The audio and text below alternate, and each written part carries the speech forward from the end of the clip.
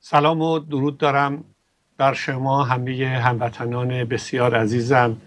باز هم در برنامه امروز و فردای ایران در تلویزیون ایران فردا با سپاس از همکاران عزیزی که در تلویزیون ایران فردا حضور دارم. من هفته پیش در رابطه با پاسداران ایران یا سپاه پاسداران به قول جمهوری اسلامی نظر من پاسداران ایران صحبت کردم. و چون صحبتم تمام نشده بود فکر کردم که باز هم در این زمینه با شما صحبتی رو داشته باشم یا سخنی رو داشته باشم و شاید که به هر حال باز همین آخرین بار نباشه چون مسئله اصلی جامعه ما همچنان باقی است مشکلاتش همچنان باقی است و شماها پاسداران ایران نقش اساسی در این زمینه دارید. امروز نگاه من باز برمیگرده به این که من ناآگاه نیستم به این که شما چجوری استخدام شدید. می‌دونم که بر اساس ماده هشت قانون سپاه استخدام شدید و وظیفه‌ای که به عهدهتون گذاشته شده جهاد در راه خدا و نگهداری از انقلاب اسلامی است. این رو خیلی خوب می‌دونم. ولی مسئله به همینجا خاتمه پیدا نمی‌کنه. چرا که اون زمانی که این قانون گذاشته شده این استخدام ها انجام شده و شما به این وسیله وارد سپاه شدید ازش خیلی گذشته. تحولات بسیاری به وجود آمده.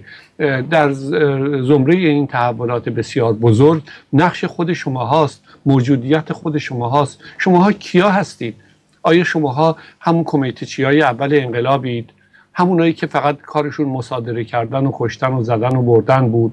نه به نظر من قطعا چنین نیست.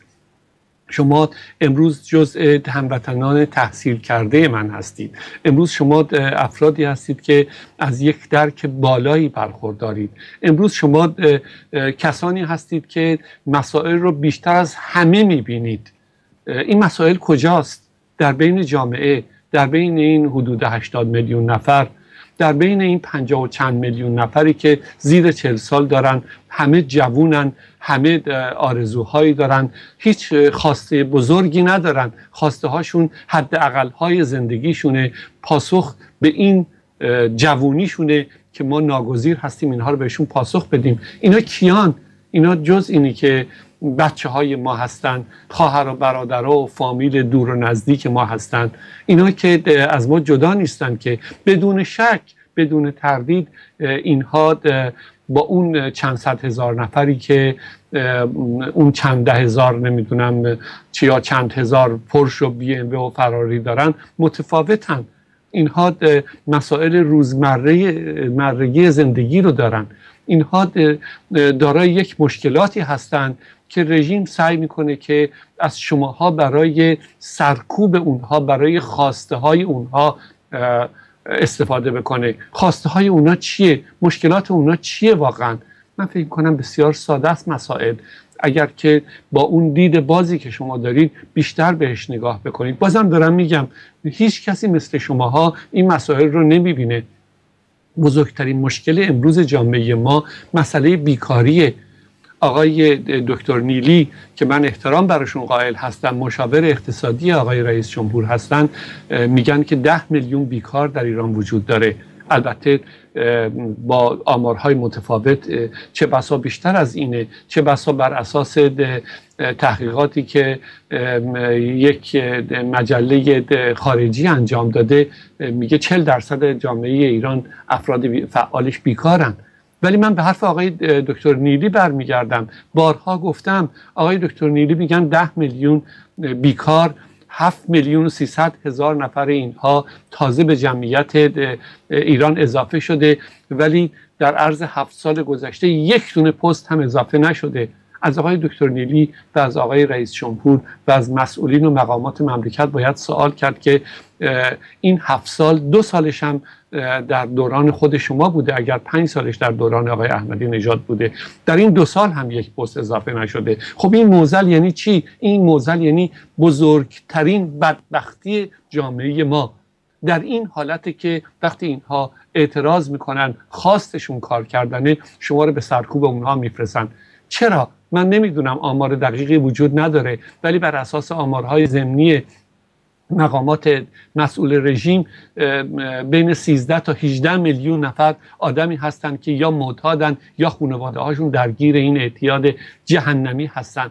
این همه خشونت این همه قتل اینا در کجاست؟ در همین جامعه که این حداقل خواستها رو دارن من یه خشونت وقتی میدم همیشه یاد این مسئله میفتم که چندی پیش خبری رو در رسانه های داخل ایران اعلام کردن که یک تریلی از این تریلی های چینی ترمز می‌بره در ربات کریم و یک موتور سوار رو زیر می‌گیره.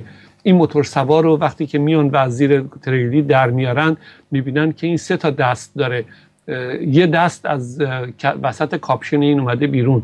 این دستی که میارن بیرون می‌بینن که دست و بازوی یک زنی است که علنگو و انگشتر رو اینها به دستش بوده و این دست و این جوون قطع کرده و این جوون 23 سالش بوده. قطع کرده گذاشته که فرار بکنه میره زیر تریلی. این از کجا میاد؟ این اگر در یه جامعه که ثابت بود حداقل هاش مدرسهش نمی‌دونم دانشگاهش بعدش شغلش همه اینها این مسائل وجود نداشت. این خشونت به چه شکل تو جامعه به وجود آمده؟ باز من برمیگردم. این همه قتلی که شماها شاهدش هستید شماها مرتب به شماها خبر داده میشه. به شما خبر میدن که چه اتفاقاتی داره تو جامعه میفته. این همه بحث ارازل و اوباش این همه عدم امنیت تو جامعه که هر لحظه هیچ کس رو جرأت بیرون آمدن نداره. این همه زندانی وقتی که به هر حال شما بحث از زندان ها می‌کنید میگن زندان های ما دیگه جا نداره با این همه زندان جدیدی که ساخته شده. تازه اینها گفته, های رئیس زندان های سازمان زندان های کشوره. من به اون دیویستا زندانی که خارج از نرم و پنهانه اصلا کاری ندارم. من فقط رو مسائل رسمی رو مطرح می‌کنم. این همه مرگ های زودرس این همه جسدی که بچه هایی رو که شما در سطل های زباله پیدا می‌کنید این همه آدمی رو کوچیک و بزرگ و پیر و جوونی رو که تو آشغالا می‌کردن برای حداقل زندگیشون این همه فرار اینا علتاش چیه واقعا؟ آیا من مطمئنم که شما لحظه به لحظه فکر می‌کنید بدون تعصب هم نگاه می‌کنید. یک آن تو این قضايا تردید ندارم ولی واقعیت بسیار تلخه. واقعیت اینه که شما کجا قرار گرفتید؟ شما بین یک دوراهی قرار گرفتید. یک دوراهی که به هر حال می‌بینید. این مجموعه جامعه این بزرگترین این اکثریت جامعه ای که این مشکلات رو دارن به هر حال اینها نگاهشون به شماست. شما چه می‌کنید؟ من می‌دونم این دوراهی که میگم. یکیش قبول اون قسمی است که خوردید اون حد اقلی که نیاز برای ادامه زندگیتون دارید و یکی دیگرش به هر حال واقعیت های جامعه که شما باش روبرو هستید. واقعیت هایی که مرتب باید که به نوعی خودتون قانع به این بکنید که بیایید و سرکوب بکنید و اگر کوچکترین اعتراضی بکنید سرنوشتی جزی نخواهید داشت که به هر حال از هواپیما پرت بشید یا ماشینتون تصادف کنه و یا ادهیتون از بین برید.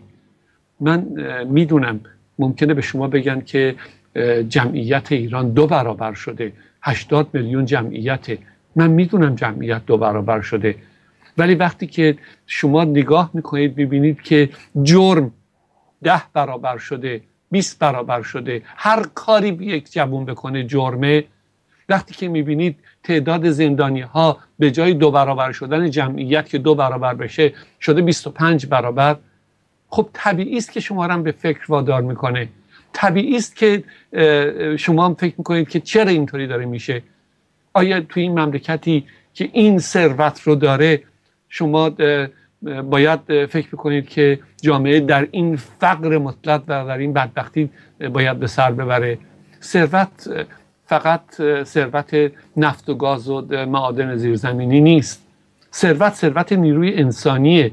ثروت ثروت همین بچه هایی که از دانشگاه ها فارغ و تحصیل میشن. همین تعداد آدمی که پنج میلیون نفرشون در روزانه به دانشگاه های مختلف میرن اینا ثروتن. اینا وقتی که از دانشگاه میان بیرون یا حتی زمانی که پاتون پله های دانشگاه می‌گذارن اینا ثروت مملکت میشن. چرا باید این ثروت رو به این شکل هدر داد؟ شما من بازم دارم میگم مطمئنم که به این قضايا خیلی خیلی بیشتر از من فکر می‌کنید. من نگرانی های خودم رو با شما در میون می‌ذارم که شما رو می‌دونم که نگران تر از من هستید. ولی واقعیت تفاوت نمی‌کنه همچنان. واقعیت اینه که به هر شکلی که به مسئله نگاه بکنید این شرایط حاضر بچه های ما که توی این جامعه زندگی می‌کنن ما رو برای فرداشون نگران می‌کنه. من مطمئن هستم. هیچ گونه تردیدی در این زمینه ندارم. جایگاه شما جایگاه بالایی است. جایگاهی که شما از اون چند نفر در رأس سپاه جداست. اونها می‌خوان که امکانات مالی و قدرت خودشون رو نگه دارن. شما وظیفه داره به نگه داشتن جامعتون هستید مردمتون هستید. شما بازم دارم میگم من چرا به شما میگم پاسدار ایران؟ شما پاسدار سپاه انقلاب اسلامی هستید در بر اساس استخدامتون. ولی من میگم شما پاسدار ایرانید. شما پاسدار مردم ایرانید. شما همون هایی هستید که بزرگترین ظرفیت رو داشتید. بیشترین خدمت رو کردید بیشترین جایگاه رو در بین مردم دارید و بیشترین نیاز مردم رو شما باید پاسخ بدید. این شمایید که به هر حال باید یه روزی به خودتون بیاندیشید به خودتون فکر بکنید با خودتون چشمتون هم بذارید یه لحظه ببینید که کجا وایسادید. این که کجا وایسادید یعنی چی؟ آیا شناسنامه ما ایرانی ها بعد از این دوره طولانی تاریخ بزرگ فرهنگی هویتی باستانی ما باید ما شناسنامه تروریست داشته باشیم باید ما شناسنامه بیهویتی داشته باشیم باید ما شناسنامه قاچاق داشته باشیم باید شناسنامه دزدی و فحشا و غیره و غیره داشته باشیم. من مطمئنم چنین نیست. شماهایی که تعدادیتون از خانواده های مذهبی میاید شماهایی که نگاهتون برای نگه داشتن این مملکت بوده امروز برمیخواهید به این بی مذهبی و بیدینی گسترده ای که توی جامعه به وجود آمده. اینا از کجا به وجود آمده؟ اینا همه دشمن اسلام بودن. به هیچ وجه من وجود ما خانواده های سنتی بودیم.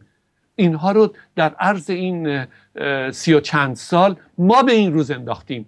ما منظورم این حکومتیه که هیچ گونه برنامه برای امروز و فردای ایران نداره.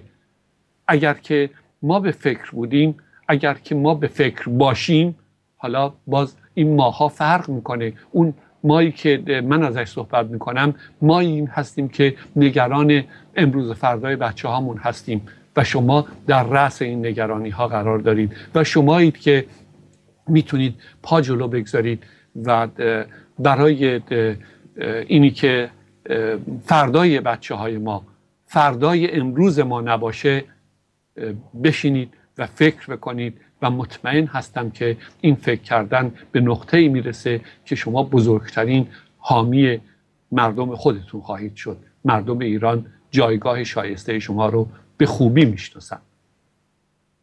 سپاسگزارم. تا هفته بعد. Boom, tchum, tchum, boom, tchum, tchum, boom, tchum, tchum, bom, tchum, tchum, bom.